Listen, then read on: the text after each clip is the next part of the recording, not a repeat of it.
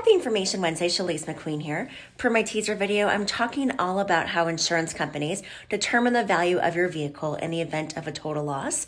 And naturally, after all of the success last week with Barrett Jackson and them selling $203 million in vehicles, it's more important than ever to have this conversation. And this conversation is not just unique to whether you have a custom, specialized, unique, or rare vehicle. This also applies to anyone that has a traditional stock vehicle.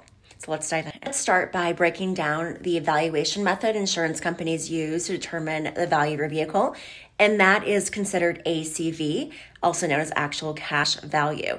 And this figure takes in consideration, of course, depreciation as well.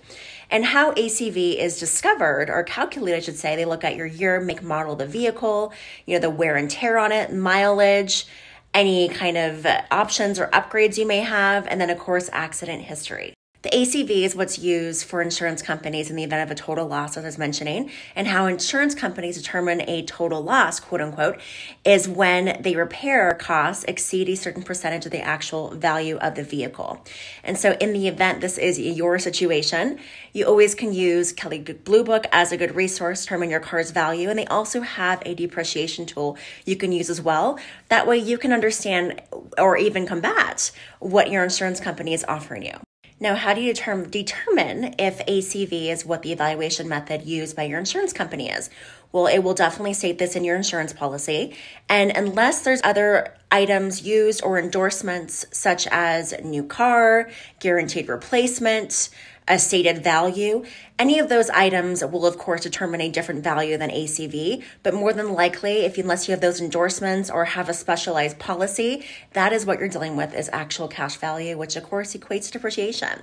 And as we're seeing, used cars are going through the roof. So the reality is your ACV may leave you with some uncovered expenses out of your pocket even if you have a stock vehicle but you have some customizations, not every insurance company will take these in consideration. Um, I have a product through Farmers and also MetLife that does and does provide coverage for customizations. So make sure you pay attention to that as well. But more than likely, if you have any kind of classic, antique, muscle, unique, any kind of rarity vehicle that we typically have seen at Barrett Jackson, you definitely don't want to have or rely on traditional auto insurance policy. A, you're not going to get the benefit from it. Two, it's going to be way more costly because these vehicles are not considered daily drivers. So you want to give me a call and I can, of course, give you a quote through a third party carrier that we offer, which is Hagerty, which, uh, which specializes in these non daily driver specialized vehicles. And they give you actual stated value for your vehicle. So the value right now is $150,000. That is what we're insuring the vehicle for, not what will happen, you know, a year from now, 2 years with a dent, a scratch, etc.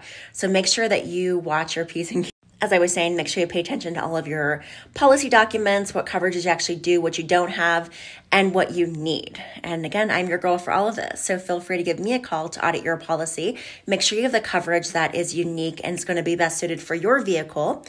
And as always, you can give me a call at 602 525 5665 or email me at cmcqueen at farmersagent.com.